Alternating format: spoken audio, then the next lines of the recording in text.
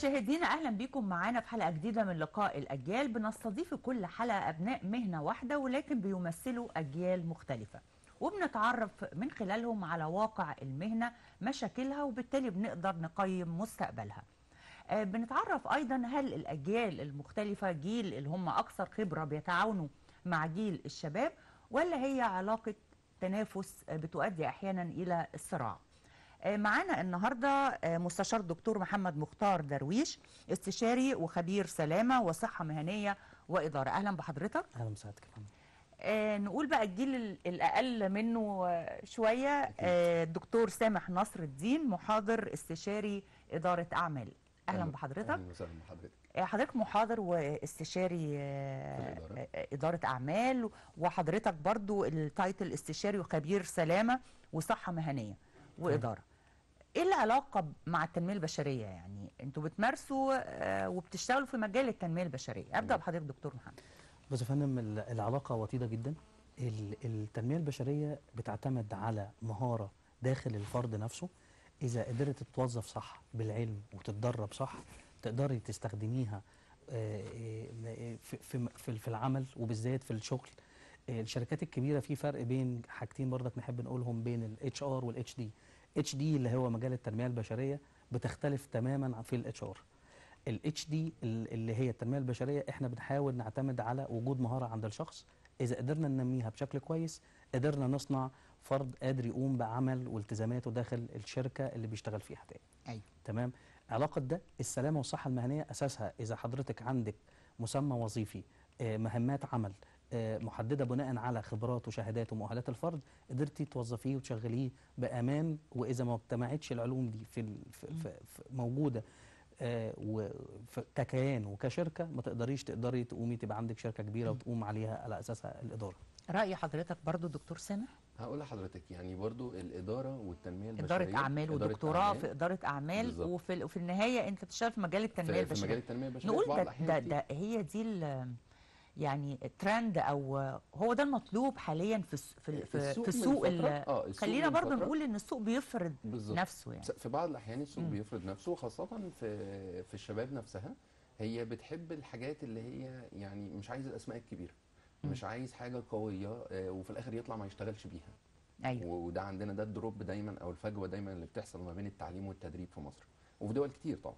ولكن الإدارة عامة هي إزاي بنصب فيها بقى في التنمية البشرية؟ يعني لما تيجي تتكلم مثلا في جزء من التنمية البشرية زي إدارة الذات ما إحنا قلنا الأول إدارة. لما تيجي تقول إدارة وقت أنت لازم تعرف تدير وقتك بطريقة معينة جوه التنمية البشرية هي هي برضو اللي هتبقى موجودة زي ما بندرسها في ال time management أو في إدارة الوقت.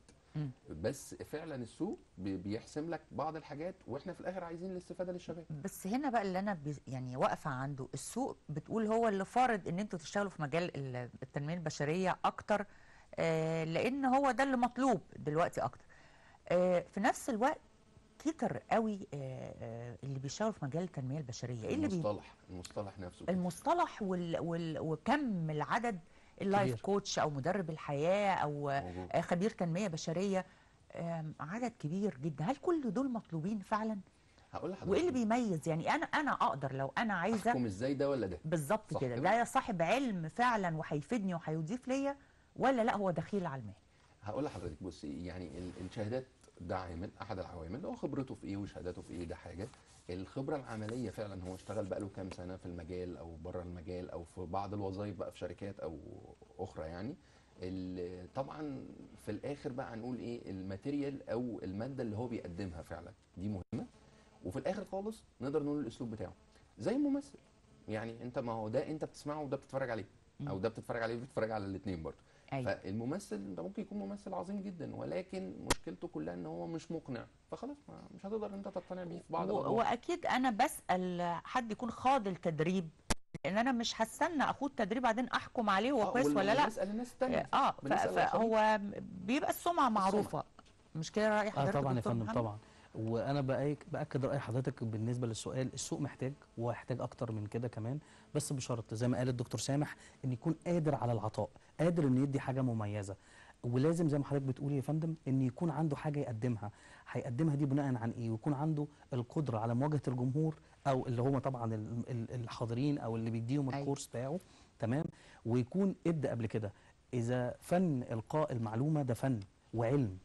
إذا ما التحقش الفن بالعلم أصبح إن هو حاجة تانية زي ما حضرتك تقولي بقى عامل زي سوق إن السوق أو في حاجة رايجه في أمور فأنا فولود أو بتبعها وخلاص. بس هل نقدر نقول عليه علم زي ما حضرتك بتقول؟ هو ملوش منهج معين. أنا أنا بلاقي إن معظمكم بت- بتتعلموا آه، بتعلموا نفسكم بتاخدوا دبلومات آه، غالبا بتبقى أونلاين بتبقى من خارج بتحضروا كورسات بره. يعني ملوش منهج معين آه، أو نقدر نقول عليه علم معين علم التنمية البشرية. لا هو موجود هو علم هو مم. علم موجود وليه بمنهج وتدرس. آه بالظبط هو ليه ليه بعض المناهج ولكن ال- التنمية البشرية مختلفة شوية آه والإدارة برضو مختلفة والمهارات الشخصية مختلفة. كل الحاجات دي بتبقى مختلفة شوية عن بعض العلوم الأخرى. يعني زي ما أما تيجي حضرتك مثلا تقارني التنمية البشرية أو الإدارة بالمحاسبة. المحاسبة هي قوانين هي معايير هي ما ينفعش إن إحنا نختلف فيها وليها كذا حد ينفع يشرحها لكن المرجع واحد. في الناحية الثانية في التنمية البشرية والإدارة لا هي ليها مدارس كتير.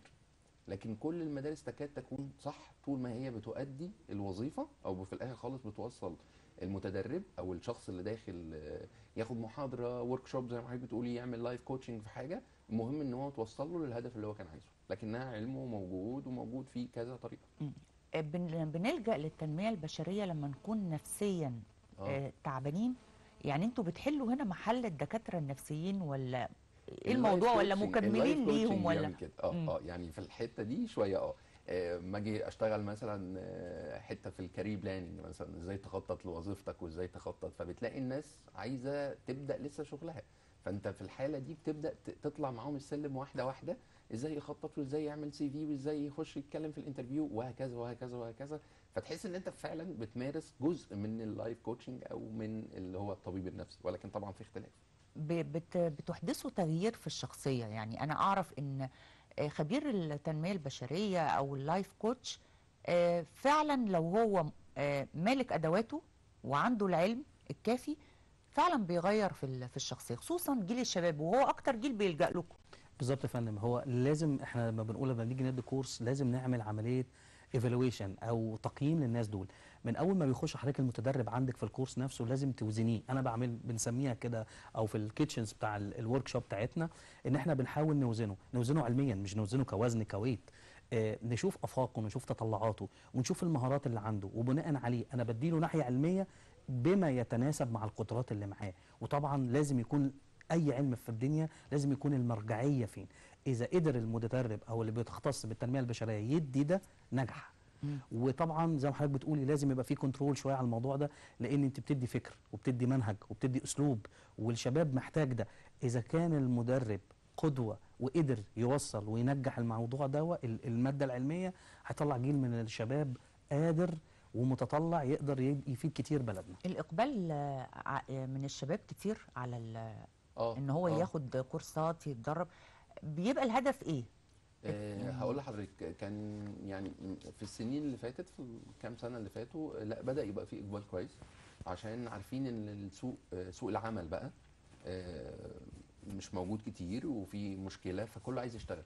فبيبقى هدف إن هو عايز يشتغل. فعايز ياخد كورسز من اللي هي تطوره من اللي هي تنميه اللي هو يقدر ينزل يشتغل كويس. والجانب التاني اللي حضرتك قلتي عليه في الأول.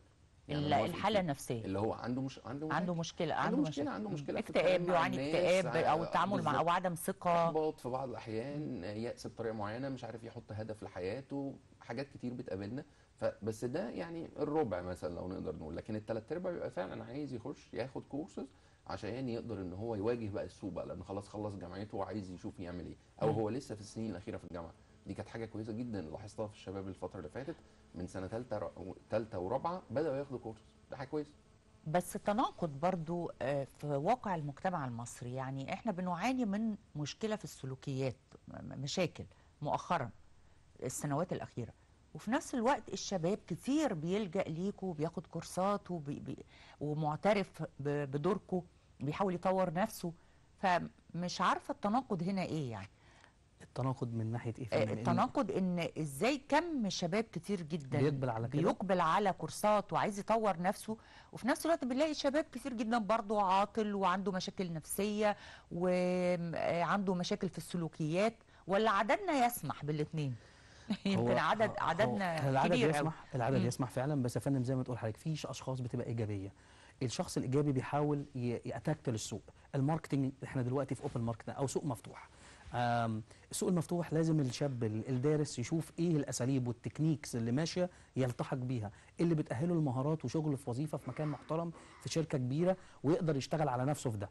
إذا قدر فهو بيحاول يروح للجماعة بتوع التنمية البشرية وياخد additional course أو كورسات خارجية. بديلة للشهادات اللي ما قدرش يا يحصل عليها. أو التعليم؟ عشان تغطي الفجوة اللي مش موجودة كانت في التعليم بتاعه. أيوه. لأن يعني لو بنتكلم مثلا أو حاجة كمثل عملي أي شركة لو في وظيفة مفتوحة ومحتاجة حد إيه اساسيات الشغل؟ إيه المفاتيح عشان يلتحق بالشغل ده؟ اولا يبقى عنده فن كتابة ال CV إزاي يقدم نفسه إزاي يعمل ال marketing لنفسه إزاي يعدي في ال interview إزاي يقوي ال phonetics بتاعت ال languages بتاعته إزاي يبقى عنده computer skills كويسة.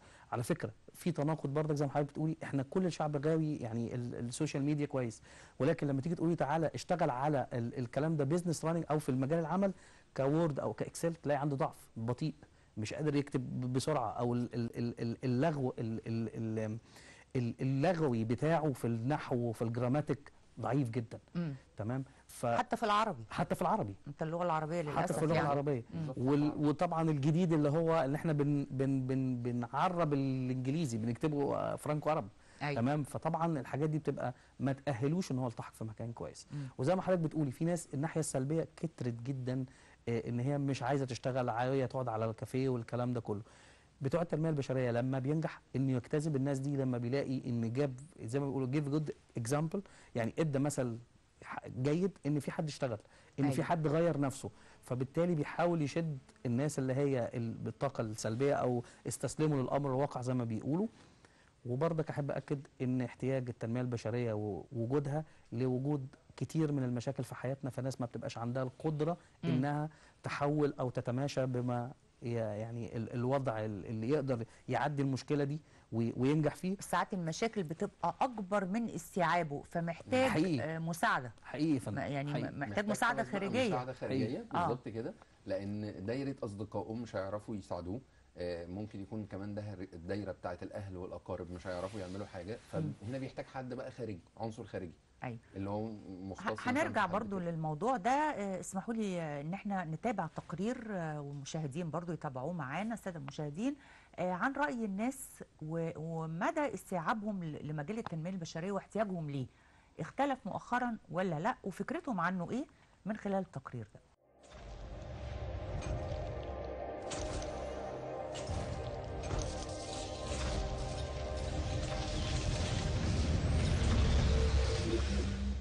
علم التنمية البشرية ده علم كبير جدا ودلوقتي خد أبعاد واشتهر وبالتالي لأن العلم ده بيكشف أبعاد الشخصية وإزاي أنا أستطيع إن أنمي الشخصية دي وأشوف إيه مواطن القوة اللي فيها بحيث أزود مواطن القوة اللي فيها وأشوف مواطن الضعف وبقى بحاول أجفف هذه الموا- المواطن الضعف. التنمية البشرية بتبقى عبارة عن توافق نفسي وصحة نفسية بترفع من شأن الفرد في عمله في أي عمل وبتخليه ينظم وقته وتخليه يعرف نفسه. اللي بيعرف نفسه يعرف أخطائه يعرف سلبياته ويعرف إيجابياته. لما في عندي تنمية بشرية آه بزود قدراتي الشخصية والعلمية دي بتساعدني إن أنا كيف أتعامل مع الأساليب الموجودة في المجتمع. كيف أتعامل مع البشر. وبالتالي ما دمت أنا توصلت للمعنى دوت أو الأسلوب ده أو الكيفية ديت إن أنا إزاي أتعامل مع البشر هنا هيبقى بالنسبة لي ده نجاح. التنمية البشرية حضرتك اللي انت بتنمي طاقات الشباب بتنمي المهارات بتاعتهم بتنمي عندهم الطاقة بتنمي ان هم يقدروا يقودوا البلد في يوم من الأيام. التنمية البشرية ده عنصر أساسي في المجتمع. يعني بدون آه، آه، بشر وبدون آه، تربية وبدون أساس صحيح ما فيش تنمية بشرية لأن هو العنصر البشري هو الأهم في المجتمع. في تصوري إن التنمية البشرية هامة جدا لأعداد الإنسان المصري. وأنا اعتقد ان التنميه البشريه مش بس المفروض ان هي تبدا مع الكبر في السن. التنميه البشريه تبدا من خلال الدراسه الدراسه البدايه. يعني أنا وأنا بعلم الاطفال في المدارس وأنا بعلم الطلبه في الجامعات وأنا بعلمهم في مدارس الثانوي أنا بعلمه إزاي يتصرف مع مواقف الحياة إزاي يبدع إزاي يفكر إزاي ان هو يعيش بطريقه صحيحه.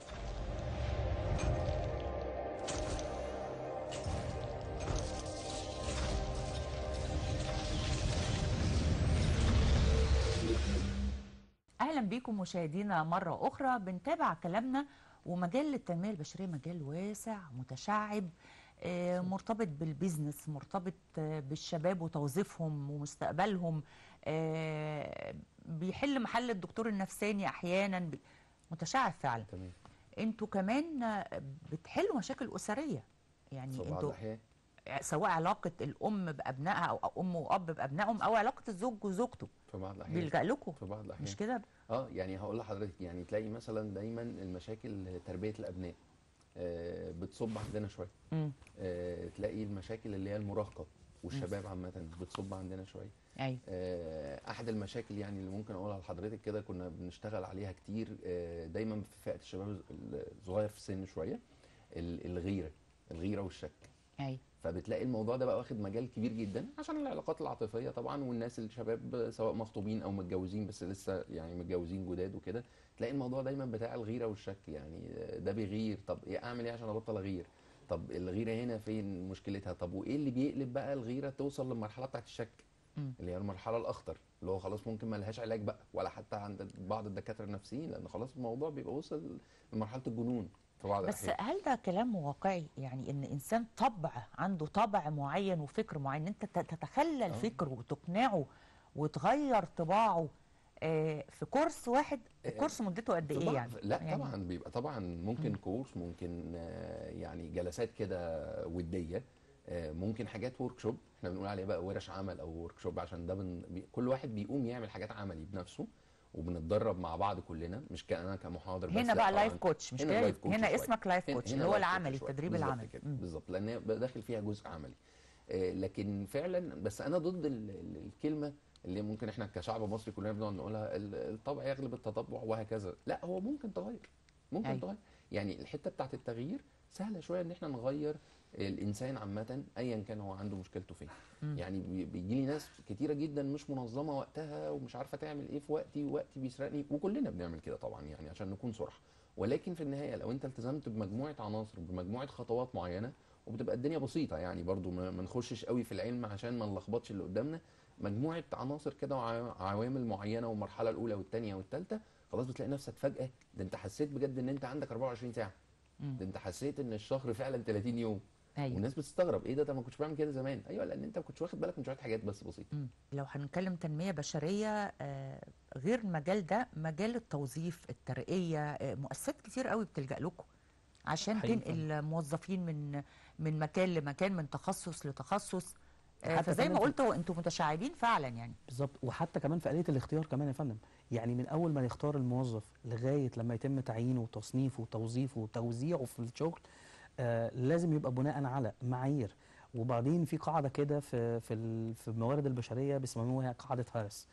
إحنا دايما محتاجين الراجل المناسب في المكان المناسب في الوقت المناسب.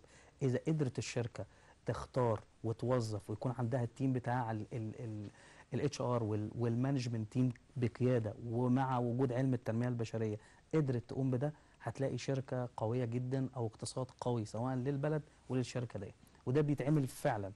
وبرضك أنا حابب أضيف حاجة اللي قالها الدكتور سامح إن إحنا بشوية خطوات بسيطة تنظيمية نقدر نصنع فارق كتير قوي في الشخصية إذا كانت عادة سلوكية قديمة وإذا كانت عايز أعدل السلوك دوت.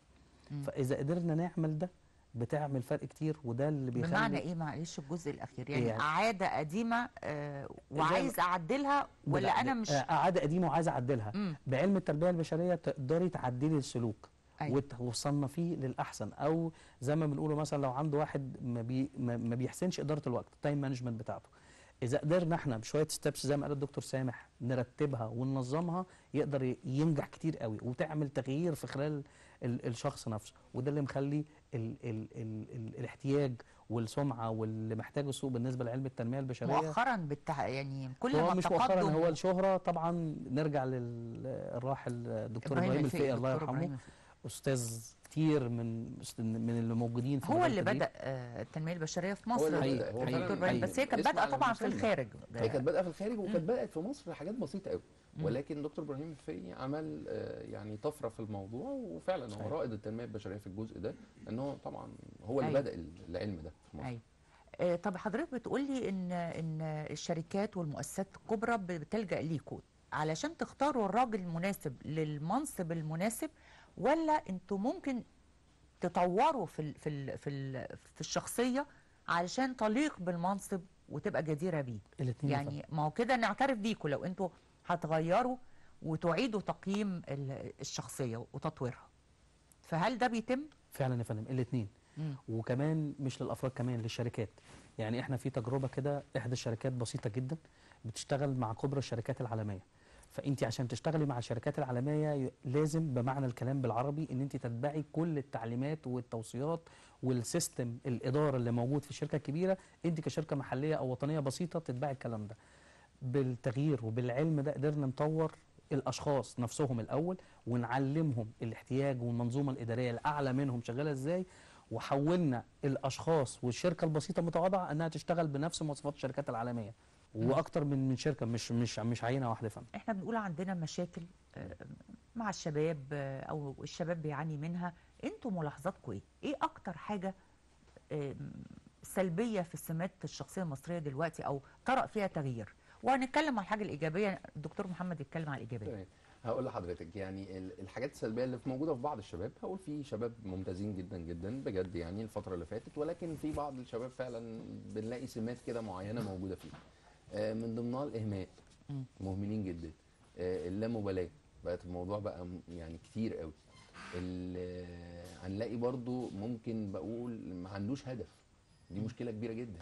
هو ما عندوش أي ولا أنواع هو ما. عندوش هدف لغلط فيه ولا هو. آه ممكن ده راجع لليأس. فهو جرب جرب في شغل في حياة في في في, في حياة شخصية يعني أو حياة اجتماعية أو في شغله أو في دراسته. فحصل له دروب مثلا معين فبييأس. زي ما حضرتك بتقولي. فبالتالي هو خلاص مش عايز يحط هدف. فدي يمكن بعض العوامل يمكن أهمهم هي حتة الهدف ده اللي بلاقيها موجودة كتير في شباب موجودين معانا كتير دلوقتي. ودايما أنصحهم لا يا جماعة حطوا هدف.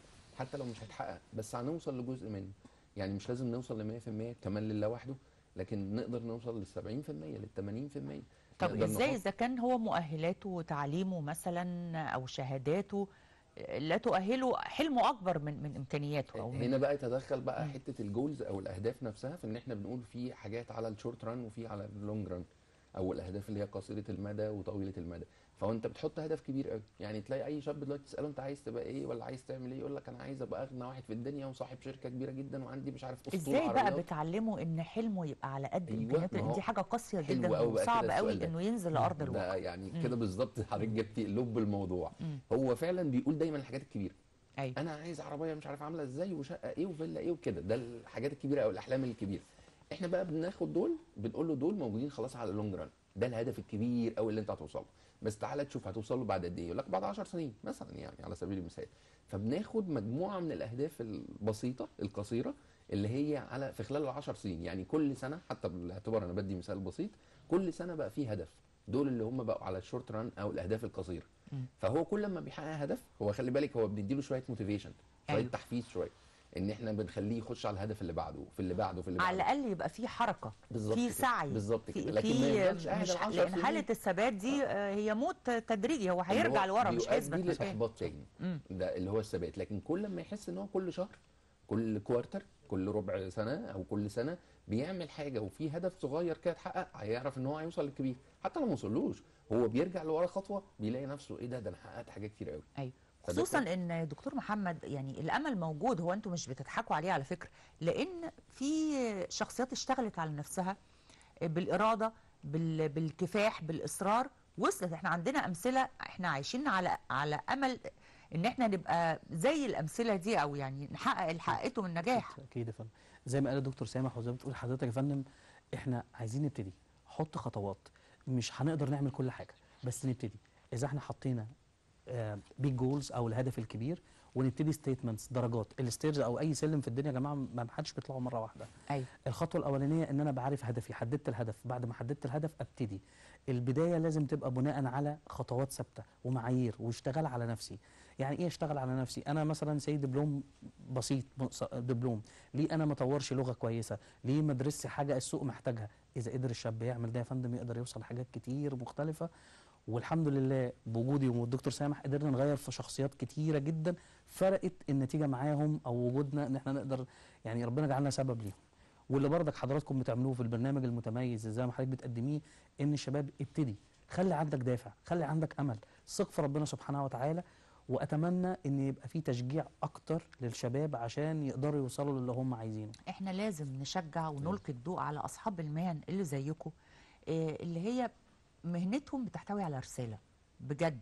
آه، مفيش مانع إن أنتوا تنجحوا وتكسبوا ويبقى في عائد مادي على فكرة. آه، خلينا يعني واقعيين. لكن ده ما يمنعش إن أنتوا آه، أصحاب الرسالة عن طريق مهنتكم بتساعدوا فعلا الشباب.